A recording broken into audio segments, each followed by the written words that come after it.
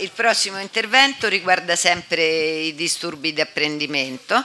E le relatrici sono la dottoressa Daniela Di Riso e la dottoressa Daphne Chessa.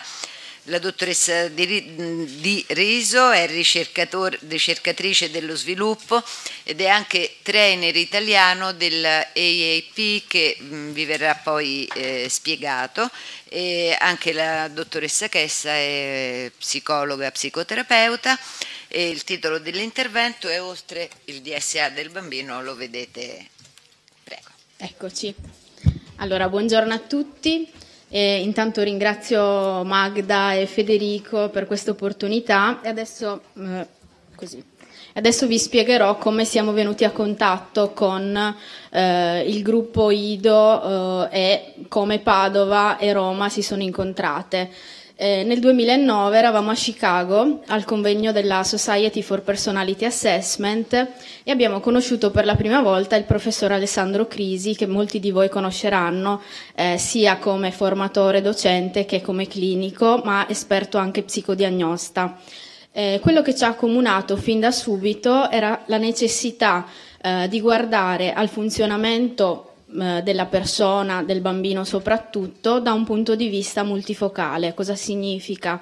eh, guardarlo eh, nella pluralità delle funzioni che sottendono la sua personalità. Eravamo a un convegno di personalità, eh, dell'assessment della personalità e come possiamo noi psicologi, neuropsichiatri, insegnanti, eh, suddividere le funzioni della personalità, dicotomizzarle o addirittura scinderle. Chi siamo noi per farlo? Se fortunatamente il nostro corredo biologico eh, ci ha dato questi milioni di connettori sinaptici.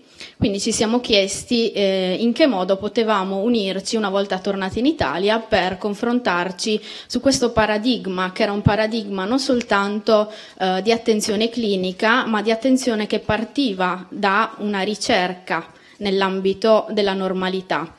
Cosa significa? Che abbiamo visto ieri benissimo con la, per esempio, dott- professoressa Speranza, che la normalità e la patologia eh, in ambito evolutivo non possono essere scisse e non può parlarsi di patologia se non si è capito qual è il concetto di normalità o che cosa un bambino eh, di un anno, due anni, tre anni fa o può fare nella maggior parte dei casi e se anche l'ambiente è un facilitatore, cioè gli ha consentito eh, di mettere in atto quella serie di funzioni per cui magari ontogeneticamente siamo stati formati. Per cui ci siamo diciamo, uniti eh, a livello anche empatico e abbiamo creato questo gruppo di ricerca. Eh, che eh, diciamo, è guidato oh, dal Dipartimento oh, mh, di Psicologia dello Sviluppo e della Socializzazione dell'Università di Padova, eh, l'Istituto di Ortofonologia e l'Istituto Italiano Varteg. Qual è stata la necessità eh, di eh, aprirci diciamo, a questo linguaggio comune? Era, mh, mm, era stata diciamo, mh, mm, ehm, una, una, necessità proprio che partiva da, da un bisogno di superare eh, quelli che erano eh, diciamo, i primati soltanto eh, cognitivi, neurobiologici che nel corso degli anni abbiamo dovuto affrontare, chiaramente non dimenticandoli e non scindendoli e non dandone eh, minor eh, valore a livello clinico e a livello interpretativo, ma eh, rafforzandone la base teorica eh, e la base di partenza per aprirci alla possibilità di andare oltre la diagnosi. Eh, questo, nella comunicazione parleremo di eh, disturbi specifici dell'apprendimento e eh, dal punto di vista diciamo, ehm, teorico-empirico in qualche modo c'è un grosso gap eh, per quello che eh, concerne eh, la dimensione affettiva emotiva legata al disturbo specifico dell'apprendimento. Ci sono un sacco di ricerche, un sacco di evidenze empiriche sulla diagnosi, sul trattamento, sui facilitatori, ma eh, pochissime evidenze che ci dicono che cosa a livello di intervento e a livello terapeutico funziona, non funziona.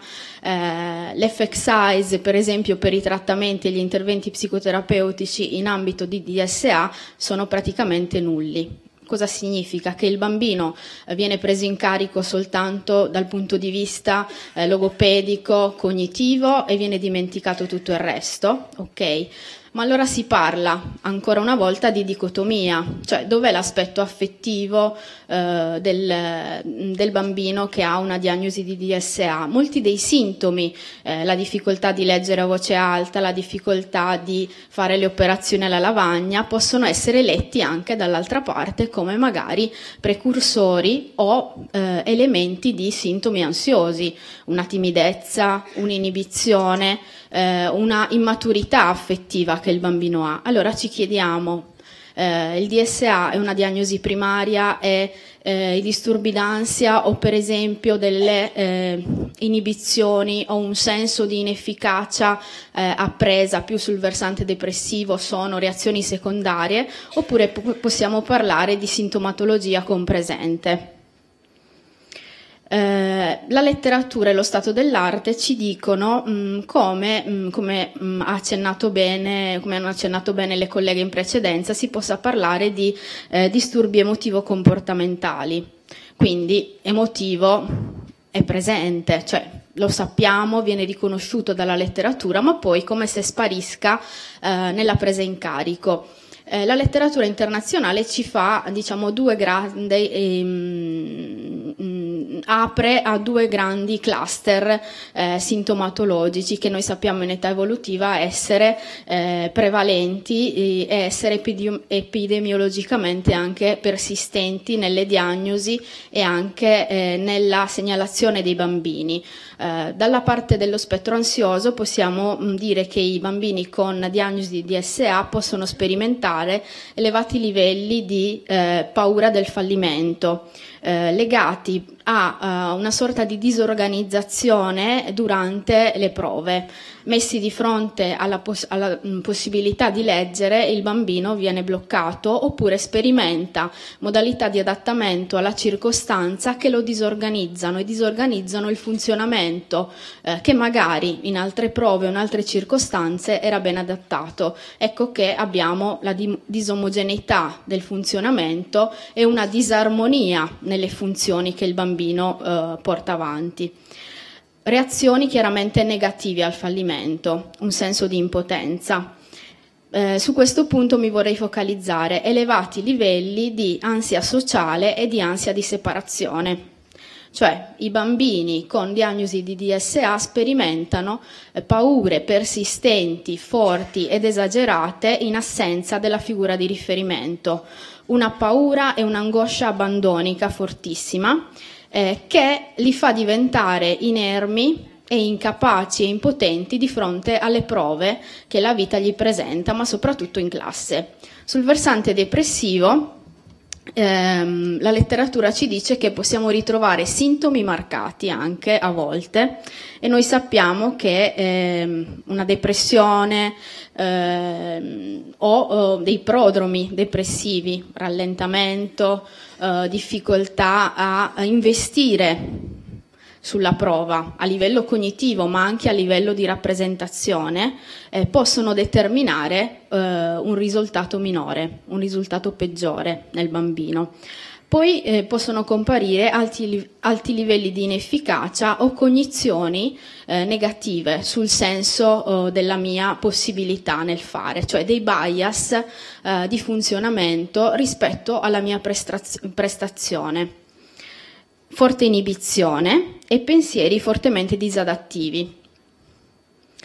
Eh, problema.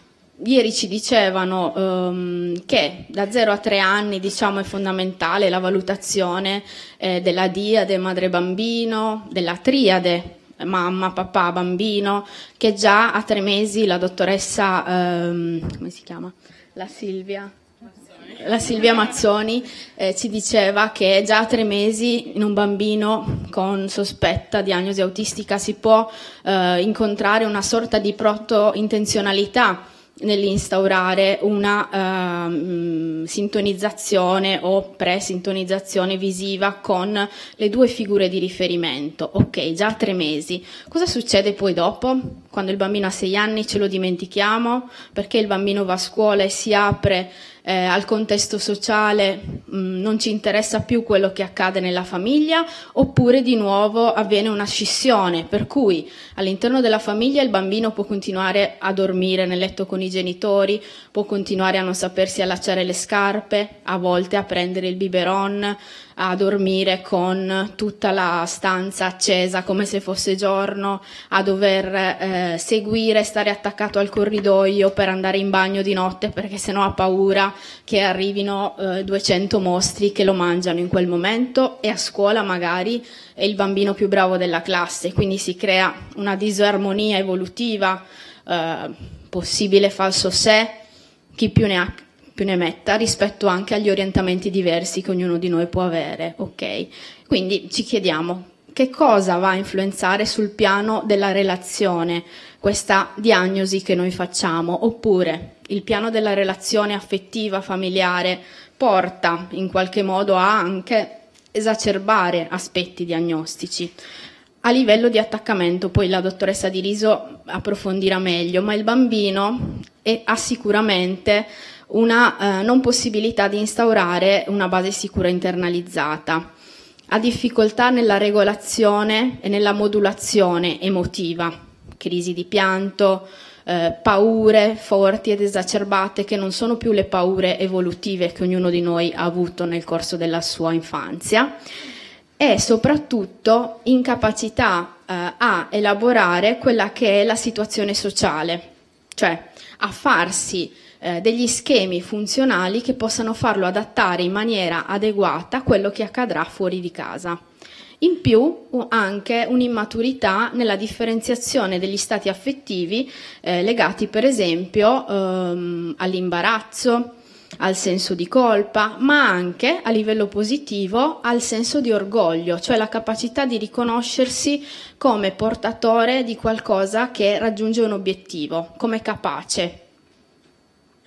In ambito scolastico cosa succede? Il dottore che ci ha preceduto ha fatto benissimo vedere in tre minuti di video che cosa può succedere. Cioè il bambino percepisce eh, l'ambito scolastico o l'ambito scolastico è estremamente rigido, controllante, questo incrementa il livello di ansia fino ad arrivare a un'inibizione, per esempio, o all'utilizzo di strategie compensative che sono differenti. Il bambino comincia a cantare, tutta la classe ride, il bambino si sente bersaglio e portatore della patologia o di qualcosa che va e devia dalla norma. Hanno difficoltà, per esempio, anche ad accettare l'autorità, perché l'autorità, per esempio, è data da degli schemi molto rigidi che non lo aiutano Ehm, nei momenti di difficoltà o eh, in qualche modo valorizzano soltanto parti separate di quella che è la sua personalità, per cui il giorno che il bambino risponde bene, legge bene, il bambino diventa bravissimo, il giorno dopo che non riesce ad alzarsi dal banco per andare a scrivere alla lavagna o parlare di fronte alla classe, viene vessato e quindi si aumentano quei, sentimo, quei sentimenti di inferiorità, di inabilità che, le, che dicevamo prima. Problema sulla frustrazione, per esempio. Alcuni bambini non tollerano di non conoscere ancora certe cose. Qua potremmo aprire eh, un ambito di discussione che potrebbe valer la pena di un solo convegno e chi di voi magari è mamma, genitore, può saperlo sicuramente meglio di me, eh, la possibilità è ehm, di dare dei limiti al bambino, di dire dei no che sappiamo strutturano a livello inconsapevole quello che è il nostro limite personale, interpersonale, di personalità, che ci porta poi a eh, interagire con gli altri eh, mostrando una parte coerente di noi stessi, altrimenti poi cerchiamo l'altro per instaurare delle relazioni che non sono eh, delle relazioni mature, ma saranno magari delle relazioni d'appoggio o di altro tipo. Ultimo punto, potrebbero giudicare i loro insegnanti più rifiutanti e chiaramente l'insegnante non diventerà più per loro una possibile nuova base sicura. A livello familiare apriamo diciamo, un dibattito che ci è sembrato carente eh, in tutta la letteratura. internazionale ma anche italiana. È per questo che eh, soprattutto abbiamo voluto portare avanti questa ricerca, soprattutto perché a livello familiare eh, l'esperienza di ricerca e l'esperienza clinica ci ha dato la possibilità di eh, guardare eh, queste famiglie e leggerle come meno strutturate rispetto alle famiglie senza una diagnosi, a volte più disorganizzate e più conflittuali, a volte in cui c'era una alterazione della coesione familiare. Problema importante, lo dicevano prima le colleghe, l'anamnesi familiare, cioè psicopatologia conclamata, confermata, eh, guarita a livello per esempio materno, quindi livelli d'ansia e depressione materna, tutte le ricerche internazionali ci dicono che sono dei potenziali fattori di rischio eh, nell'esacerbazione di sintomi per il bambino a livello diciamo meno eh, interpretativo, ma andando a vedere le funzioni più cognitive e più di adattamento, le strategie di coping eh, che i genitori mettono in atto sono eh, prettamente di tipo evitante. E voi sapete che è uno dei meccanismi più correlati eh, con, per esempio, gli aspetti fobici, gli aspetti di paura, cioè non c'è un'elaborazione ma si scappa ci salviamo, però la paura rimane là e magari si sedimenta e a 15 anni, 20 anni diventa qualcos'altro.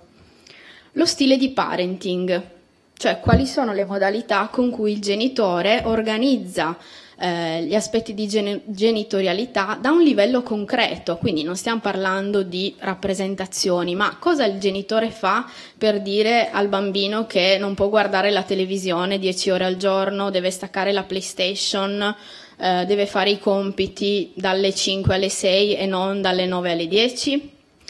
Gen- eh, I genitori dei bambini con DSA spesso enfatizzano l'organizzazione, strutturano, strutturano ma in realtà in maniera autoritaria, con un, uno scarso livello di calore, per cui il bambino percepisce meno supporto e meno eh, emotività.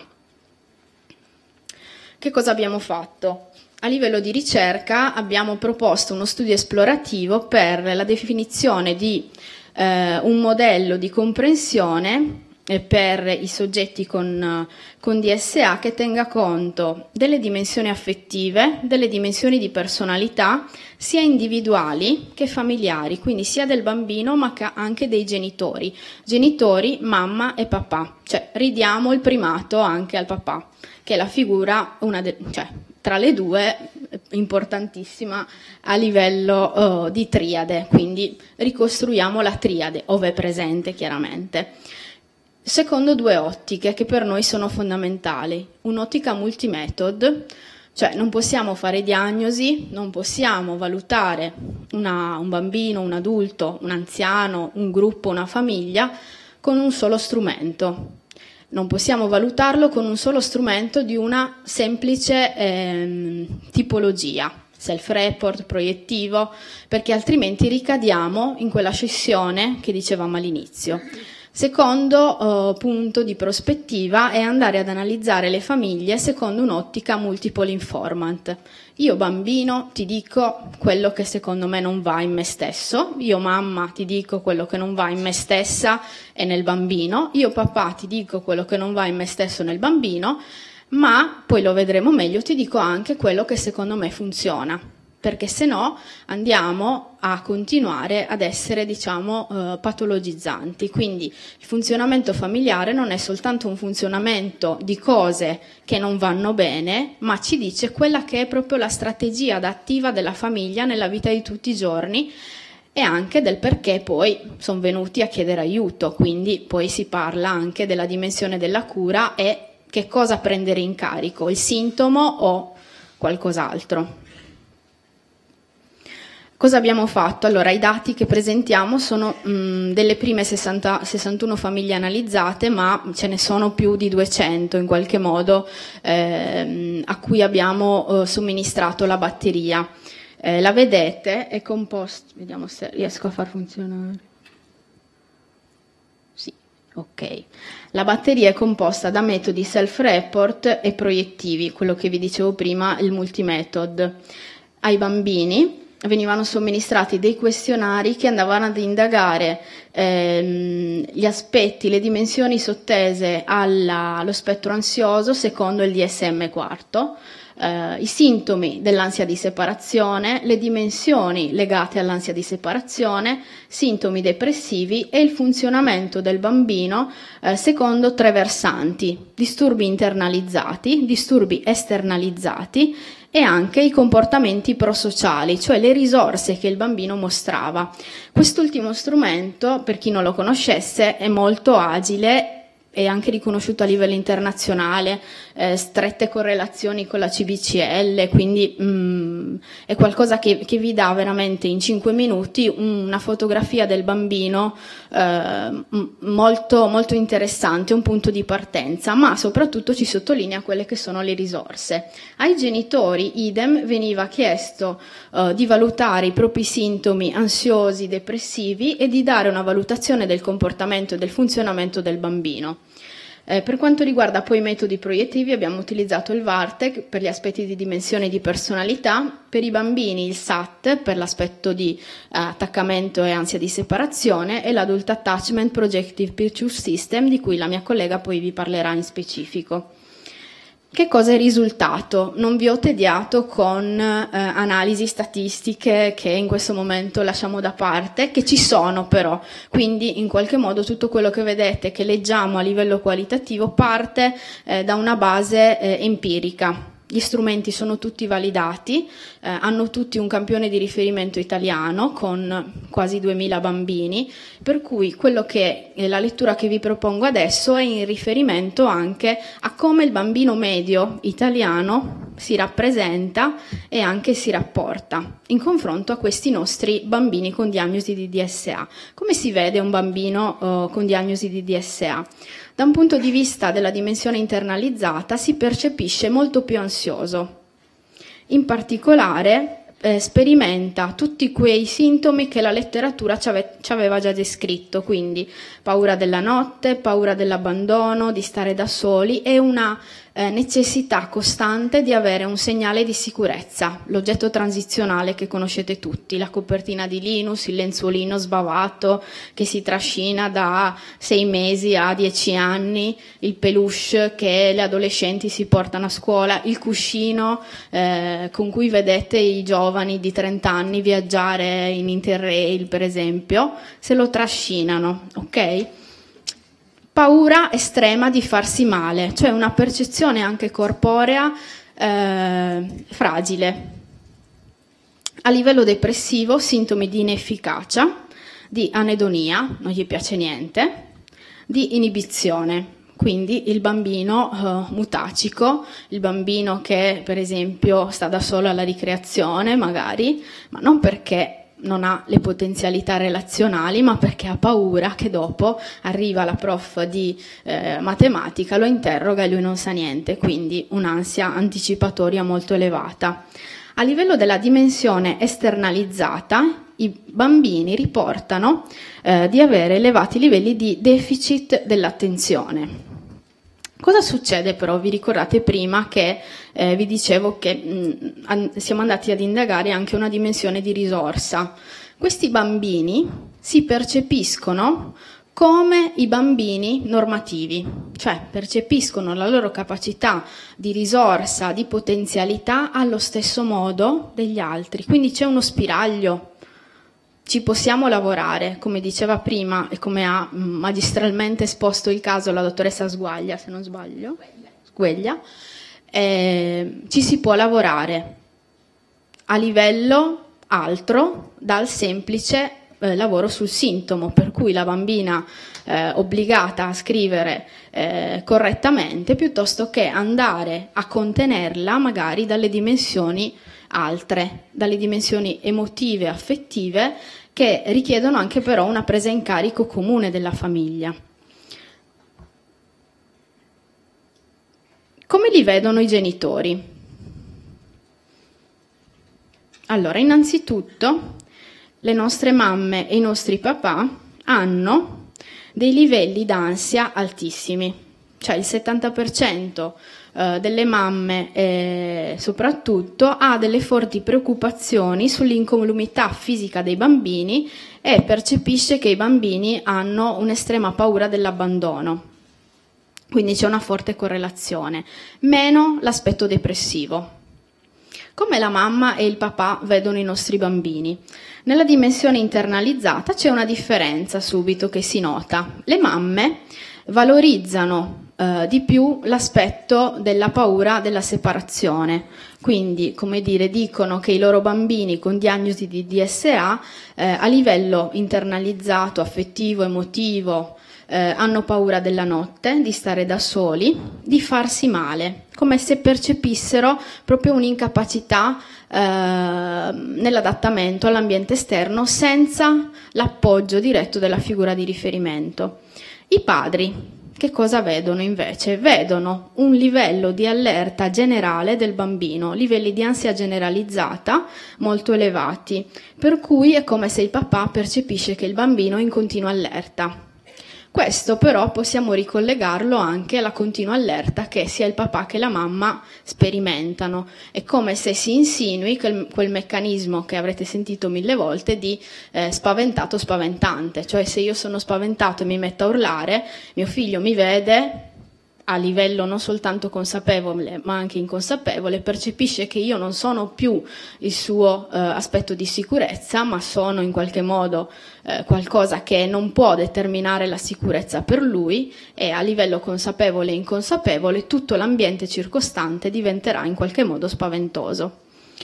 A livello di dimensione esternalizzata c'è un altro disaccordo. In qualche modo eh, le mamme e percepiscono sia difficoltà a livello di attenzione ma anche di condotta. Bambini un po' più scatenati, difficoltà a gestire le regole, mentre i papà sono concordi con i figli, cioè si focalizzano soltanto sull'attenzione, che risulta essere scarsa. Importantissimo però che sia figli che genitori riconoscono uno spazio di potenzialità. Se noi non andassimo a valorizzare e a fare tutto questo assessment che richiede fatica, eh, spazio mentale, ore di tempo, eh, eh, richieste anche a livello di ricerca per creare i campioni normativi eh, di funzionamento, non avremmo avuto questo schema eh, questa fotografia del bambino e della famiglia. Ci saremmo eh, unicamente focalizzati su quella che è la difficoltà di lettura, di scrittura, di comprensione del bambino, senza capire il mondo che c'è dietro e soprattutto non avremmo eh, potuto valutare la possibilità di un'area fertile in cui lavorare. Cioè se ci chiudiamo la possibilità e eh, deneghiamo la possibilità anche che con dei genitori difficili si possa lavorare e si possa fare qualcosa o si possa far capire che la patologia del figlio o la non patologia del figlio è qualcosa che si può prendere in carico, che non ci spaventiamo se vediamo che il bambino sta male e quindi eh, non, non, strutturiamo eh, la, la, valutazione unicamente sul sintomo oppure sulle deviazioni standard, ma prendiamo in carico tutto il resto, allora eh, lì abbiamo eh, finito il nostro compito. Adesso passo la parola alla, alla mia collega, la dottoressa Di Riso, che vi farà entrare meglio nella dimensione dell'attaccamento.